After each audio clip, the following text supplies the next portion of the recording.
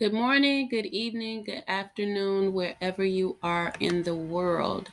For all of you out there that are following consciousness or becoming conscious and awaken, I want you to understand something. We have a collective, we have the 70, and we have the 12, right? And if you don't know what that is, then you go and you look at the Bible because it's not just religion uh, the religion should take you into a place where you understand the spirit of truth. So, John 10 and 27, for those that are leaders and those that are counseling, coaching, um, they have to understand themselves. Um, if you're consulting, you have to understand yourself. Anything that you do to help others, you need to understand yourself. And so, until a person is able to follow the voice of God within them, they will always follow a voice outside of them. Here is what John 10 and 27 says My sheep hear my voice, and I know them, and they follow me. We have a better opportunity now than ever or even the early fathers because we are supposed to have the Holy Spirit in us. This is um, an understanding. But what Jesus is saying is they his sheep follows him. And the only voice that Jesus heard was the voice of God within himself. So if you're following a voice outside of yourself, it could be for your preparation for a time and season. That voice may not be conducive for you to follow forever. A lot of people are having trouble with um, family, friends, um, business uh, situations, their profession, um, social gatherings because they have been around people that gave them sound advice for ever so long. But there is a time, sound advice, guidance, and coaching. Yes, let me add that.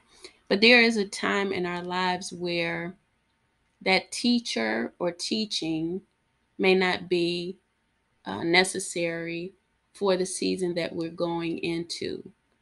What what that means is is that if we're not prepared to truly hear the voice of the Lord, my sheep hear my voice, John 10 and 27, we will follow the stranger.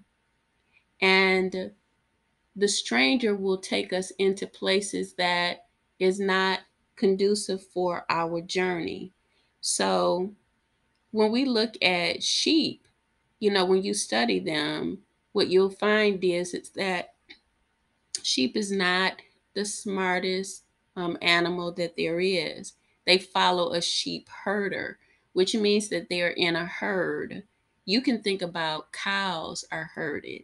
You know, you can think about other animals that are herded and understand that there comes a time when you may not fit in the herd.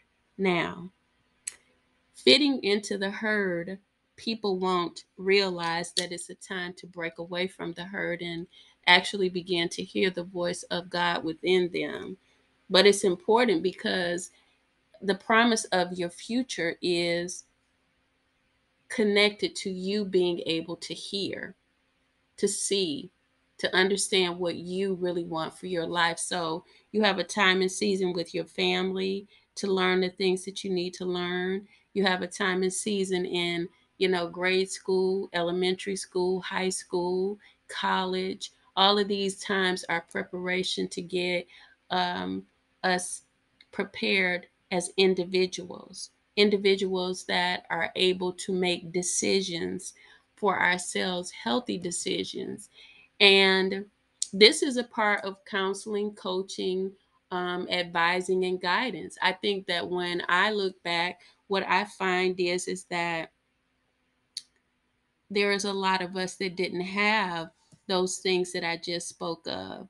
And so if we could get people back on track through um, advising them to get mental health if they need it, mental, mental health care if they need it, uh, coaching, uh, consulting for their businesses, consulting um, in any manner. Coaching is personal, it can be um, for your profession, for your job.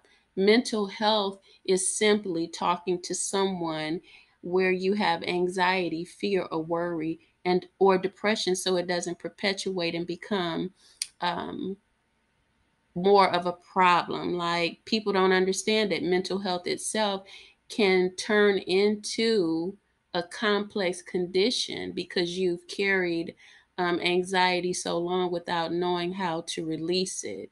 Something so simple as talking to someone to get um, inner emotions out of you that have been a problem. So, subscribe and share, and I will talk to you again about this and be blessed. Bye bye.